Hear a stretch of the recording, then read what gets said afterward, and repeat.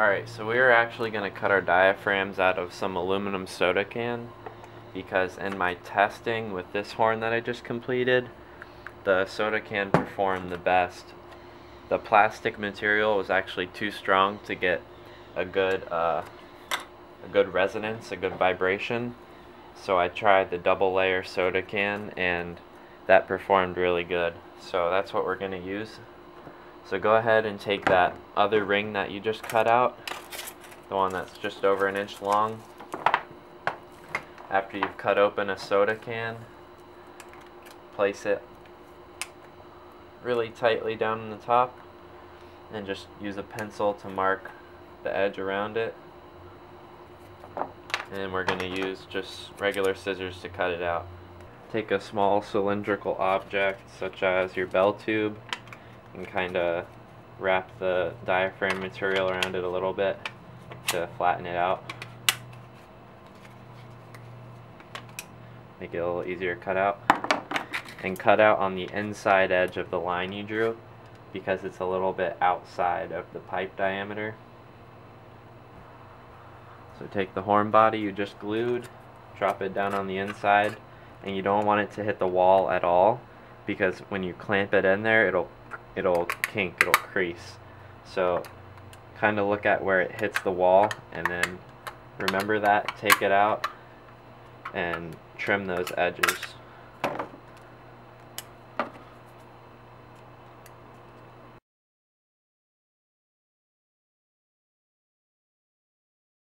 drop it back down in there.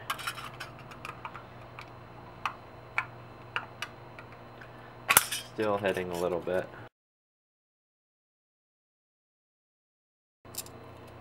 That should be good.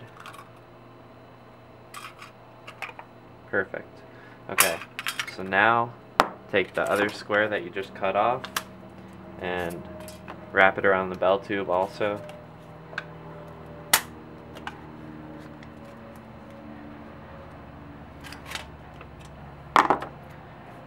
and then just place the other diaphragm over it and cut right around the outside of it holding it down really tight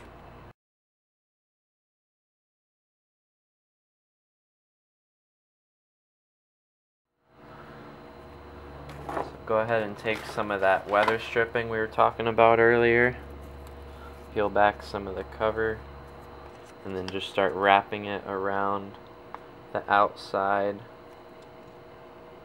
of the diaphragms.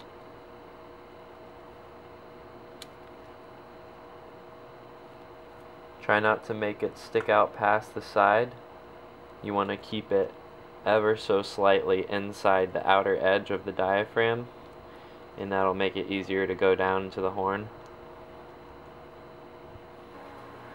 Take your scissors and cut it off a little oversized and then trim it to the perfect length.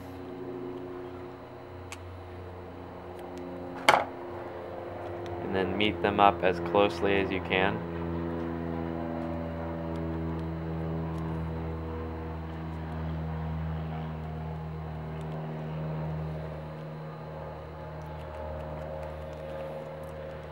So there's one of your diaphragms and then do the same exact thing with the other one try to put the weather stripping on the side with the logo or all the color because then when you put it in your horn the weather stripping goes on the inside so the silver part will be facing out and it looks better than having all the colors and stuff unless you like that for some reason I don't alright there you have your two diaphragms so now what you want to do take your horn body Drop the first diaphragm down in there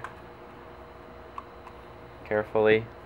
Make sure the weather stripping goes up against the pipe that's down in there. Take your second one, drop it down weather stripping first.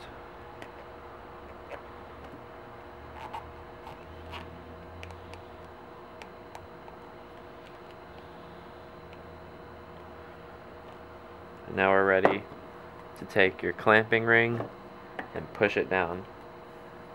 Alright, so here's where our vise comes in handy.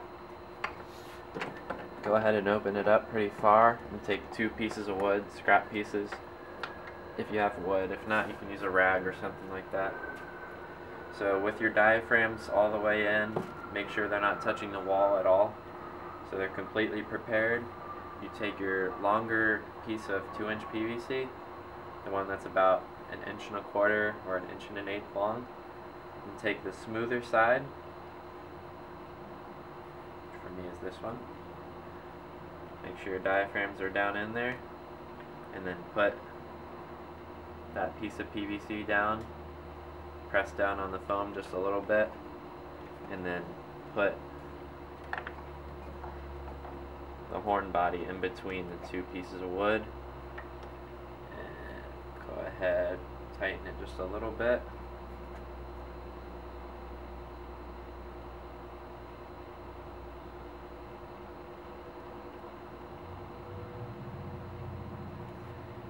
That should be good.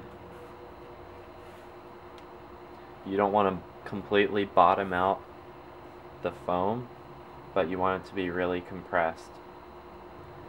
So now take your drill, and if you have a quarter inch tap, use a 730 seconds bit. But if you don't have a tap, you should probably use a 1564 bit. Definitely don't use a quarter inch bit though, because your threads won't bite at all. So you kind of want to put your hole somewhere in the middle of the length of pipe that's inside the fitting. So I have about 0.3 inches sticking out and my piece was about 1.2 1.1 inches which leaves about 0.8 inches inside the fitting so I want my hole to be about 0.4 inches from the edge so mark that length on the side of the fitting so I got that length marked on the side of the fitting and now I'm gonna drill it.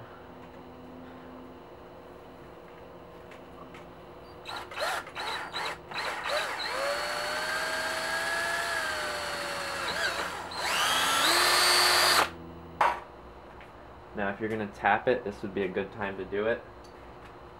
So I'm going to go ahead and tap mine quarter inch threads.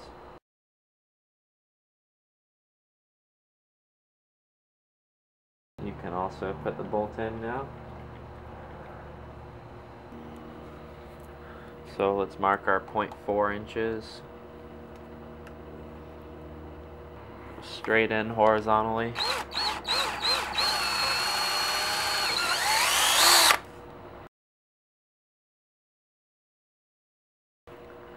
Once again, tapping isn't completely necessary, so if you don't have a tap, you don't want to buy one, even if you do have one and you don't want to use it, you don't have to. I just do it because it makes threading easier. So get your bolt started.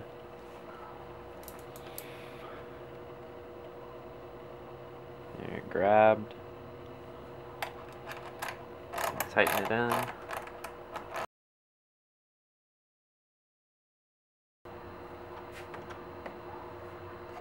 Can kind of use the other bolts as a reference. So look at it from the top. Kind of eyeball where the 90 degrees are. And then follow those holes down to the side. So I kind of I was kind of off with that hole, but it really doesn't matter. This hole's going to be somewhere around right there.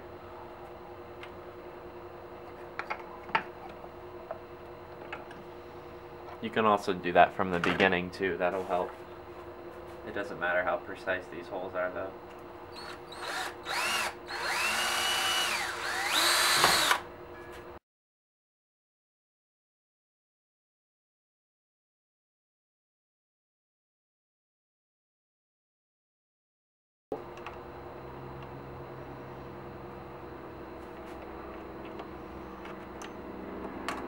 Go ahead and tighten those down.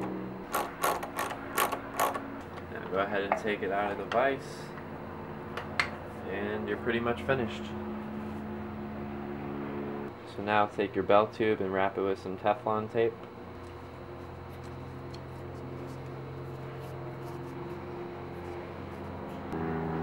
And then put it back in your horn. So now comes the fun part. Take out your test fitting